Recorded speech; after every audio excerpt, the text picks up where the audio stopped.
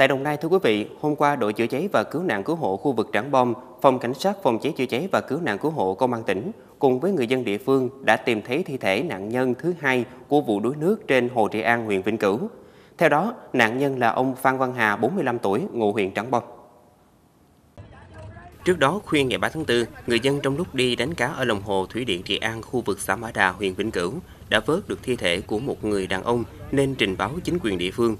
Qua xác minh, nạn nhân là anh Vũ Quốc Tuấn, 36 tuổi, ngụ xã Sông Trầu, huyện Trảng Bom.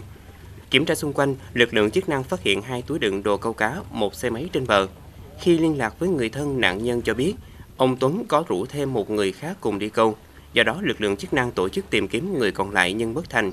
Nhận được tin báo, lực lượng tìm kiếm cứu nạn cứu hộ huyện Trảng Bom điều động 4 cán bộ chiến sĩ đến hiện trường phối hợp tìm kiếm. Đến sáng qua, lực lượng chức năng và người dân đã tìm được thi thể ông Hà đưa lên bờ bàn giao cho gia đình lo hậu sự. Theo một số người dân địa phương, khả năng ông Hà và anh Tuấn rủ nhau đi câu trên ghe nhưng lật ghe rơi xuống hồ chết đuối.